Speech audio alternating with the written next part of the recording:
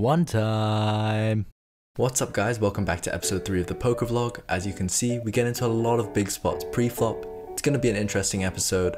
And please remember to subscribe if you enjoy the video, it really helps me out. Let's get into it. Welcome back everyone to the first hand of the video. The majority of this session is 5-handed, which is what it starts off here as. I'm in the cutoff, I have king queen off suit, I open the action to $12. The button makes the call and so does the big blind. The flop comes a good one, king queen 5 2 hearts. The board smashes my range as well as my actual hand, so when the big blind checks, I decide to slow play and check as well. Now, the button bets $15. When the big blind makes the call, this is just a mandatory check raise spot as I'm almost always good here apart from maybe pocket 5s, considering the way they played pre-flop. I need to charge heart draws as well as straight draws so I check raise to $50. The button gets out the way, so maybe he was taking a stab at it and the big blind makes the call. Off to a turn which comes the 3 of spades. A great card, pretty much a total brick. When the big blind checks, checking back just isn't an option considering the strength I showed on the flop, so I bet $60, quite small as I'm targeting all of his drawing hands on this street that may not be able to call a larger bet. He makes the call and we're off to a river which comes the jack of clubs, not the greatest card but definitely not the worst. Ace 10 and 9 10 make the straight, but the only plausible combinations of those hands that make sense for the big blind to hold on to after the flop and the turn are the ones with two hearts, as he would have folded these hands on the flop or turn otherwise. The only hands that beat me that make sense to me are these two straights, of which there are two combinations in the deck, and pocket 5s of which there are three combinations left. Pocket jacks would raise pre-flop, not wanting to go three ways, the same with kings and queens. All other possible hands that technically could beat us wouldn't make the river, so realistically, I'm only putting on 5 total combinations of hands that beat us. When looking at the hands that don't beat us, that he can call with, there's many more than that. Logical ones include King Jack, of which there are 6 combinations left in the deck alone, already making this a spot where betting with 100% frequency is the optimal play. However, there's also so many other hands that he can call with, including some King X's, maybe even some Queen or Jack X's if he doesn't believe my story. Betting 3 streets and especially check raising the flop really polarizes my range, meaning I either have the best available hands, such as kings, queens, ace 10 or king queen like I do have, or nothing like a busted heart draw or a straight draw that missed. This line wouldn't really make sense for a one pair hand such as a king x. If he's a good player, he'd know this and may make a hero call with a jack or queen pair, considering kicker issues shouldn't really be a problem as I'm never going to have a one pair hand here. With that being said, when he checks to me, I bet $130 into a pot of $273, leaving him with around 40 behind. This is a huge mistake, there's no reason to only bet 130 in my opinion.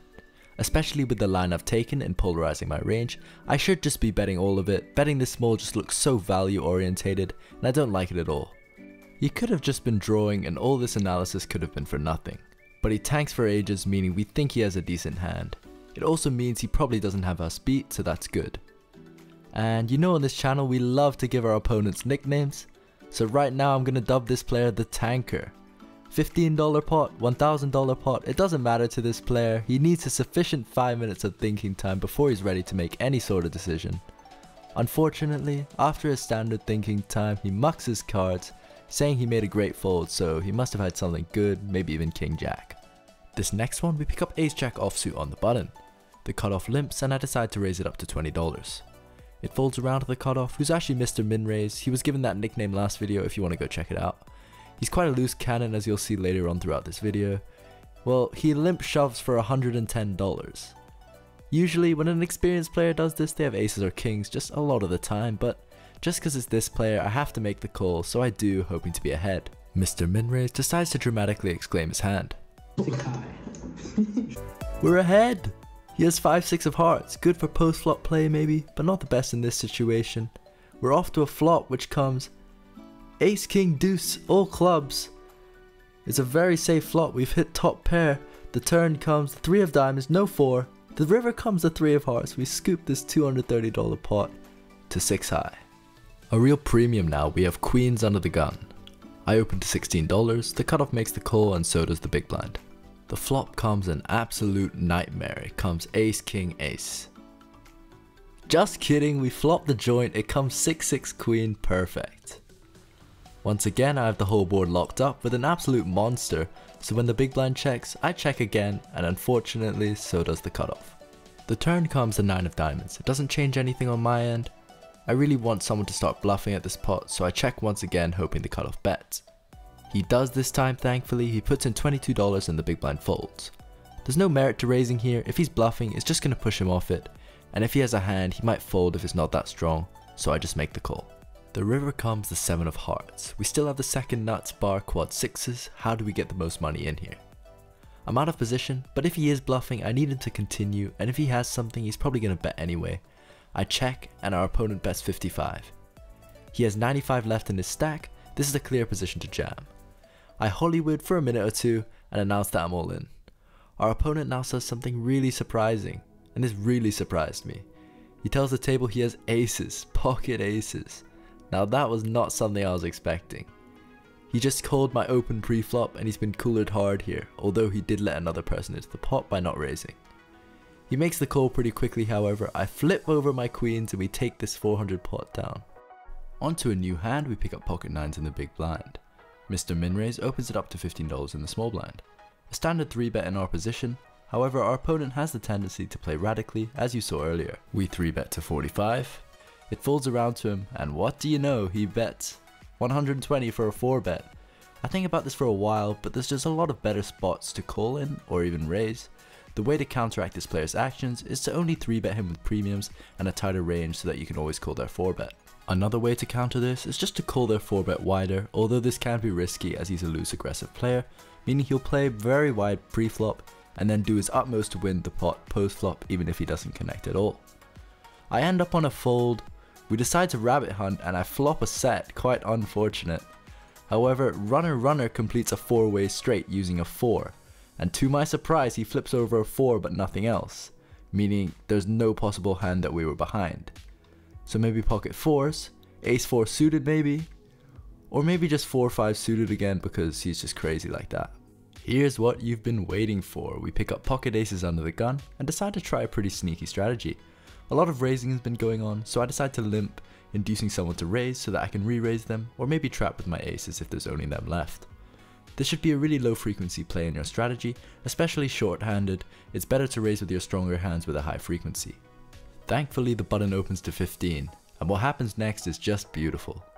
Our loose nemesis on our right in the big blind 3 bets to $45. There's no way I can just call here and give the button a great price to go 3 ways. I immediately called 4 bet to 125, hoping my quick action may look like a tilted move, considering I folded the best hand with my pocket nines to the big blind a few hands ago. Realistically though, I've only invested $4 into the pot by limping, there's no real reason for me to get out of line and my action probably looks insanely strong to the table. The button gets out of there and it's onto the big blind. Well now he tanks, and this player doesn't usually tank, but this time it goes on forever. He's 650 deep and I haven't covered barely. I can see him going through the motions in his head and he mentions it's a shovel fold situation. He's seriously considering folding, but in the end he makes the call, we obviously snap call, this is ballooned into a $1,350 pot pre-flop. Wow. He flips over pocket queens, we flip over our aces, and that's just a massive cooler once again. Off to a run out, the flop comes three, three, four, hold, nine, hold. And the river comes a three. We take down a $1,300 pot going all in pre-flop. Wow, that's a huge one. On to a more timid hand. We have ace 8 offsuit in the big blind. It folds around to the small blind who opens to $15. I can definitely 3-bet here some of the time considering my hand strength in a blind v blind situation, but since I'm in position I decide to flat and evaluate a flop. The flop comes king 10 jack rainbow, it's super connected, any 10 jack queen or king is going to continue here, so when the small blind checks to me I just check back, essentially giving up with my specific hand. The turn comes the 10 of clubs, I guess it's less likely for him to have a 10 now, but I'm still not really planning on fighting for this pot at all. Our opponent now checks for the second time, as I mentioned this player is extremely aggressive so him checking twice never really happens, maybe he has a monster or maybe he just has nothing, there's still no reason for me to bet, any hand that I'm ahead of is going to fold, and any hand I'm not will call. The river now comes the 10 of spades which is pretty interesting. When our opponent checks for the third time, I'm absolutely confident he does not have a piece of this board. The way I view it is this player, he would have 100% bet one of those streets with a piece of it such as a king or a jack or even a 10. Even with a small pocket pair I'm confident he would bet this river, so I'm almost certain ace high is good. Therefore, I decide to value bet knowing a raise is super likely just based off this player. I commit to calling any size raise, even if he puts all in, and I bet $25, almost pot. And just as expected, he raises to $80. I couldn't snap call quick enough. And yes, he reveals 4 high, so we take a $200 pot out of nowhere. In the next hand, without pocket aces on the button, the cutoff limp, so with everyone pretty deep stacked, I make a standard open of 5x the big blind to $20. The small blind and the cutoff both make the call. The flop comes 8-9 king 2 diamonds. It's a pretty wet board texture, not great for aces especially against two other opponents. This gets worse when the small blind donk leads for $30 to which the cutoff calls quickly. Looking back, I think I just should have raised in this spot, if I call which is what I end up doing, I'll be subjected to a much larger pot against two opponents when one of them could have easily had me beat. The turn comes the 6 of clubs, not really that dangerous of a card, although some straight possibilities get there. The small blind once again leads out for $80. When the cutoff calls, although I think it's a terrible situation to be in, I think aces have to fold. It's just so likely one of them has a two pair, set or straight. Even if they have a draw, they should have a decent amount of outs. It's just not worth it. So I make the fold, but we're gonna watch this one out. The river comes the six of hearts and the small blind shoves for $63. His line just seems super strong, but I guess we'll find out. The cutoff snap calls, it's Mr. Minraise and he flips over the runner runner trips holding 6-3 of diamonds. The small blind flips over King Jack in disgust, but it just shows the dynamics of this table and how thin people both bet for value, as well as how wide people call down certain streets on occasion.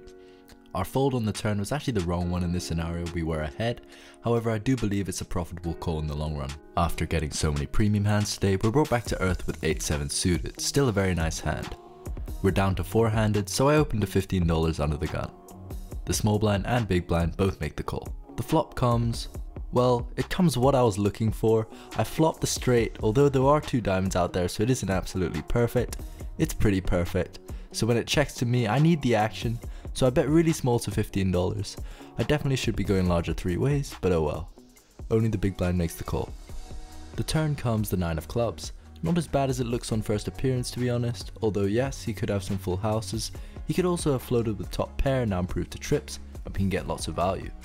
When he checks to me, I bet 30 and he makes the call. The river comes the 8 of spades, now this is a bad card. There's a 4 liner out there, so I won't really get much value from anything. When it gets checked to me, you're supposed to throw in some smaller sizes on a 4 liner board, however that's mostly when you don't have the straight and you have some marginal pairs. Considering I'm most likely good, I size up to $100, hoping to get a crying call. I get snapped off, and yes, he rivered the straight, so we're quite unfortunate to get rivered there, we chop it up. The poker wizards reward us with a hand after being rivered, we pick up ace king offsuit on the button and open up action to $17. The small blind calls, and the big blind 3 bets to quite a large sizing of 100, leaving himself with 300 behind. I consider flatting, but since the small blind is in and there will be little room to play post flop, I just rip it in for $400 total. The small blind quickly folds and outs onto the big blind. Our opponent is the one notorious for tanking, however he disappoints this time, 1 in a million, quickly folding and saying he had ace jack. On to the last hand of the video, it's quite a complex one. We're blessed once again with pocket kings under the gun. I open to $15 and it folds to the same player who just folded to our 4 bet. He quickly 3 bets to $50 and it folds to me. Considering literally just a couple hands ago I 4-bet shoved on him and showed ace-king to the table, I'm going to play this one a little tricky as most of his range is probably going to fold to a 4-bet shove again. I must reiterate that thus this is a low frequency play, most of the time this is just a mandatory 4-bet, it's just because of the table dynamics that I'm making this play at this moment. The flop is action packed, coming ace king queen rainbow. We flop our set and it's super disguised, there's almost no universe where he puts me on a set. He's had a bad day, I don't think he'd be 3 betting jack 10 at this late stage of the session, especially with only 300 to start the hand. Therefore, when he checks to me, I decide to slow play, hoping he bets turn, knowing that this board texture smashes his range, even though he may not have a hand. The turn comes the 4 of diamonds very safe, but unfortunately he checks it to me once again. I need to start betting now, so I bet 45. This is when something weird happens, when he basically min raises it up to $100. This isn't Mr. Minraise, this is the tanker. Maybe they decided to swap names for a hand, I don't really know. At this point in time, it was a huge decision for me. I actually tanked for a while myself, because I didn't know whether to call a shove. he had like 40 behind, but if he was bluffing, I'd lose that 40, so I wanted to make sure it was guaranteed that the money was going in. To be honest, my kind of thinking was pretty dumb. I should have just shoved because if he was drawing, he'd call, and if he missed on the river, he'd just fold and I'd lose $40 of value. I do only call, however, and we're off to a river. The river comes the 9 of diamonds, really bad card as he could have a flush, but I'm not gonna not put the $40 in, so when he shoves, I call and wow. This player's been on a poor run of form recently, although he's a pretty good player, and when he flips over ace king, I just feel bad. To be fair, he would have called a 4 bet pre-flop, but him flopping top 2 pair and me flopping a set is just another huge cooler. We end the day on a high note, taking down a pot of almost $450. We end up sitting with a stack of just under $1500 when the game breaks, so yeah, a great day for us. Hope you enjoyed the video guys, we got into some massive spots pre-flop. It was quite tough. I think we ended the session with a stack of $1,475. We bought in for 300 meaning we made a profit of $1,175, which was a very good session for us. If you did enjoy, please remember to subscribe, it really helps the channel out and yeah, peace.